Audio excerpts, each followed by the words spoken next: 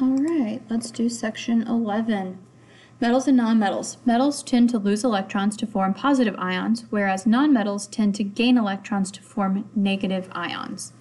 Right, so they are negative ions because they are gaining negative electrons.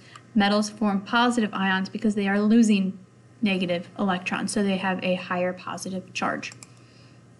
Ionization energy is the energy required to remove an electron from a gaseous atom or ion. So the first electron that you remove from a metal is generally pretty easy. The second gets a little bit harder, and the third one harder. It's especially hard to remove core electrons because they are bound much more tightly than valence electrons. In general, as we go across a period from left to right, the first ionization energy increases. Why is that?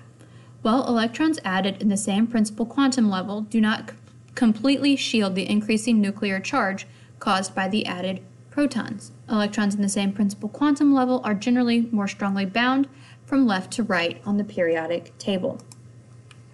So as we move from left to right across our period, the amount of energy needed to remove an electron increases.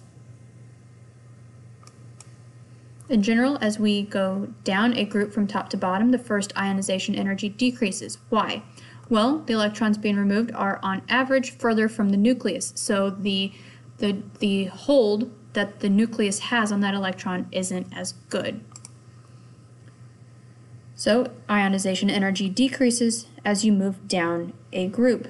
So the energy needed to remove an electron decreases. Which atom would re require more energy to remove an electron and why? Sodium or chlorine? Well, it is chlorine because it is further to the right and requires more energy to remove an electron. Which atom would require more energy to remove an electron? Lithium or cesium? Well, lithium because it is higher up on the periodic table. The higher you are, the harder it is to remove an electron. Atomic size. In general, as we go across a period from left to right, the atomic radius decreases. Effective nuclear charge increases because there are more protons in the nucleus. Therefore, the valence electrons are drawn closer to the nucleus, decreasing the size of the atom. In general, atomic radius increases in going down a group because they have more protons and more neutrons and electrons. Orbital sizes increase in successive principal quantum levels. So here we have a diagram showing the relative atomic sizes for some atoms you'll notice that at the bottom left, atoms are much bigger than the upper right. Which should have a larger atom? Sodium. Why? Because it has fewer protons, so it doesn't have as good of a hold on its electrons than chlorine. Chlorine holds very tightly to its electrons. It wants to keep them, it does not want to give them away. Sodium it doesn't have as many electrons and really it just wants to get rid of that outermost electron so it just kind of goes wherever it wants in the outermost areas of that atom. Which should be the larger atom?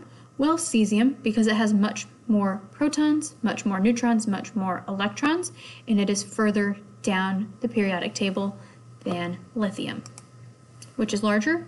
The hydrogen in the 1s orbital or the lithium in the 1s orbital? Well, hydrogen because it's not holding as tightly to that electron. It's going wherever it wants. All right, lithium has a very tight hold on its electrons comparatively, which is lower in, er-, in energy, the lithium 1s orbital, because it's holding very tightly to that electron. Exercise, arrange the elements oxygen, fluorine, and sulfur according to increasing ionization energy?